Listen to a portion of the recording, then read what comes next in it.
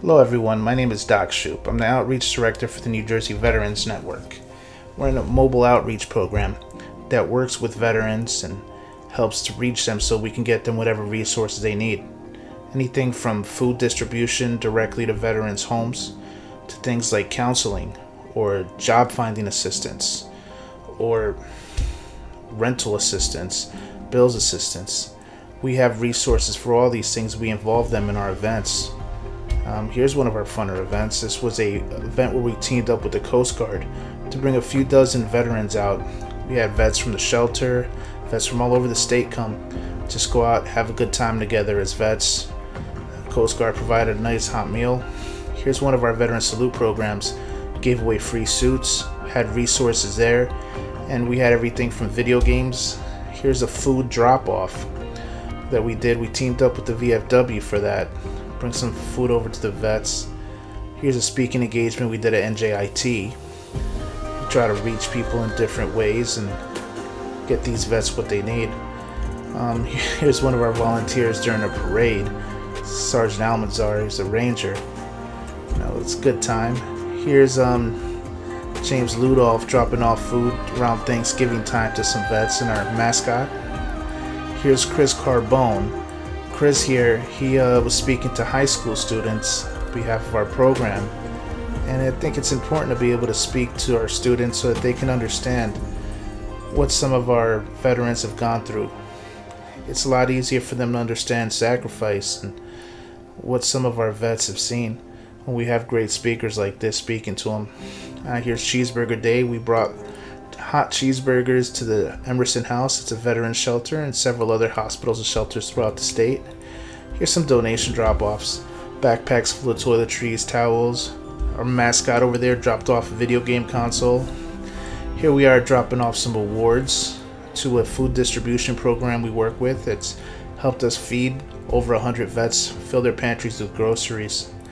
That's a really good program to work with. We do all kinds of stuff. This is at Unbridled Heroes Project, the horse therapy ranch, our mascot there.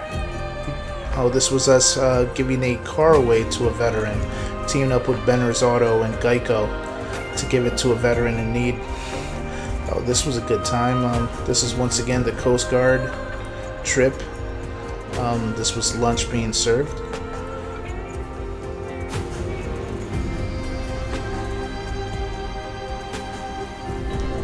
Here's some of the Coast Guard guys. This was a Katherine Walker, by the way, that we were on. This was a real fun trip. Um, this was a veteran salute program. We have volunteers doing everything from cutting hair to make your veterans feel comfortable. Here we have a movie theater event that we did. We had guys, counselors, talking to vets. Here's some of the toiletries we keep stored to give to vets. This right here was a cleanup that we did. We're setting up free clothing to give away to veterans. Uh, we even had Batman come to one of our events to help us usher in the vets. This is us uh, dropping off toys to veterans' children. I dressed up as Santa Claus. Our mascot Shadow was an elf. Uh, we had plenty of donations come in, and we had plenty of great vets to bring the toys to. Here's us with some of the volunteers. Oh, here's um our little elf mascot. dropped off some toys to a veteran family. Uh, here's some more of those toy donations that came in. This was a really cool, uh, cool thing to do. Um, here's uh, another food drop off. I think I'm sorry. These are some more toy donations that we dropped off to veterans families. It's pretty important to do this stuff. Here's another truck full of toys that we dropped off you'd be surprised um, what a big difference it can make to some of the veteran families dropping off these toys.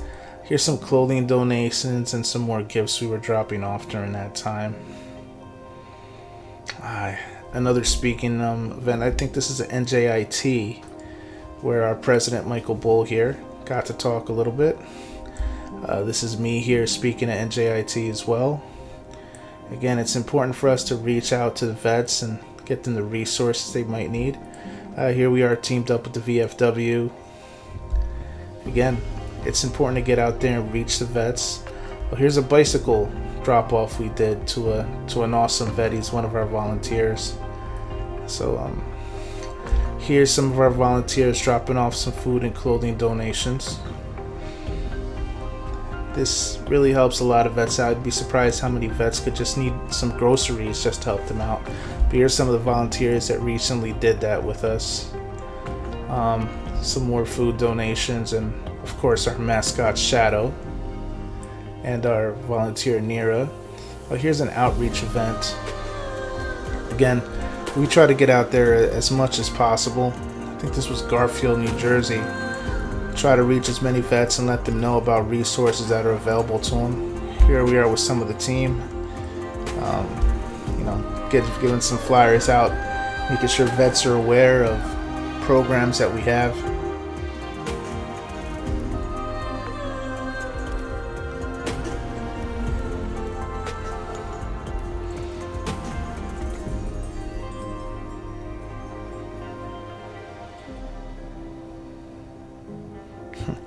Here's some of the guys on that Coast Guard boat. This was a really fun event. Guys really liked this one. It's amazing what a field trip can do for some of the guys.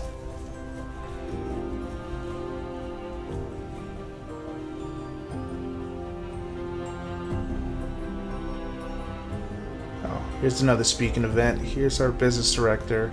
Gene Spillane. He gives advice to veterans about business, small business, starting business. Uh, oh, this is one of our parades. We got our mascot hopping out of the back, and this was us speaking at the Senate about the needs that veterans have and what can be done. Uh, there's Gene again at another NJVN booth. I think this was at a veterans business Oh, here we are giving another car away. this is a really great vet we were able to give this car to. He manages a charity where they do horse therapy. It's called Unbridled Heroes. Great program. We're so happy to team up with DeFalco Towing and Geico to uh, get this car out to this vet. Really awesome. Oh, here's an article about one of the events that we did. This was a field trip to Sterling Hill Mines. Uh, we had Catholic Charities there with us and legal assistance there to ask, you know, to cover any questions some of the vets might have while they were having fun. It's a lot easier to uh, ask some questions when you're in an environment like that. Whereas, you know, if it's a sad environment, it could be more difficult for vets to ask questions. But when we do our stuff, we have guys come out they get the help that they need. So, thank you very much for listening. Um, this doesn't cover all the stuff that we do. We stay pretty busy, but um, th- thank you all who support us. Uh, we are out there making a huge difference in helping veterans. Our programs are different, but they work. They've been very successful, and um, on behalf of the vets who are helping, who you supported, thank you.